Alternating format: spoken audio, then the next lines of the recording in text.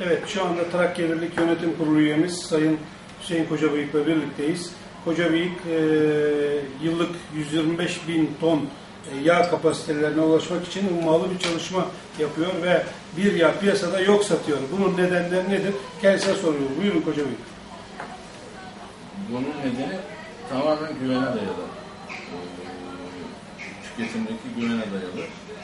Her geçen günde bu güven artıyor ve her geçen günde talep e, bir yağ artıyor. Bilhassa e, İstanbul'un yağ ihtiyacının yüzde ellisini e, bir yağ olarak Trakya Birliği karşılıyor. İstanbul'da da nüfus arttıkça bizim yağ satışlarımız da artıyor. Hmm, Bu konudan çok memnunuz tabii. Yani satışlarımızda herhangi bir fabrikalarımız 24 saat aralıksız çalışmasına rağmen bazen de eee ayçiçeklerimizi fason olarak başka fabrikalara işletip şişelemeyi, e, rafineyi gene kendimiz yapıp, şişelemeyi gene kendimiz yapıp o şekilde e, taleplere yetişmeye uğraşıyoruz. Bu bir yağ olan yoğun talep e, Trakya Birlik'te yeni yatırımlara neden olacak mı? Ee, yeni yatırımlar derken zaten 2-3 yıl önce kapasitemizi e, 60 bin ton falan arttırdık.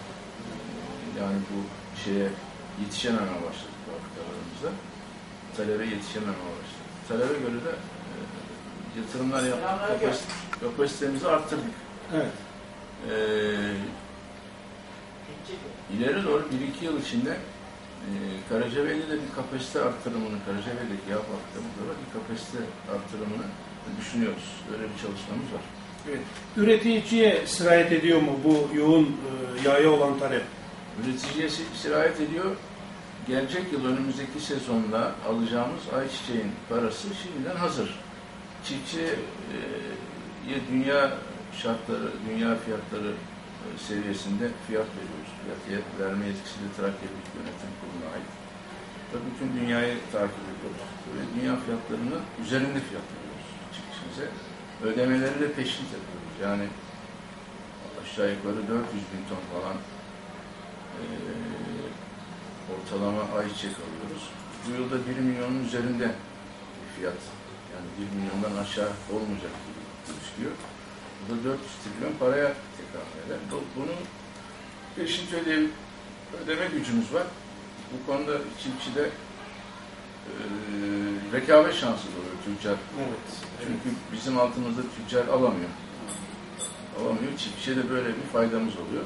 Zaten çiftçiye de şimdiye kadar 140 trilyon liralık bir işte yem, yağ, nakit para, gübre, ilaç bunları da karşılıyoruz tabii. Tedarik ediyoruz. Tedarik ediyoruz. Geçtiğimiz yıl ne kadar bir alım yaptık?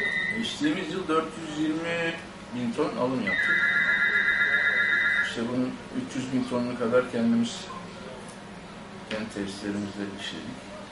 Diğerini de yağ fabrikalarına yağ aldığımız fiyatın üzerinde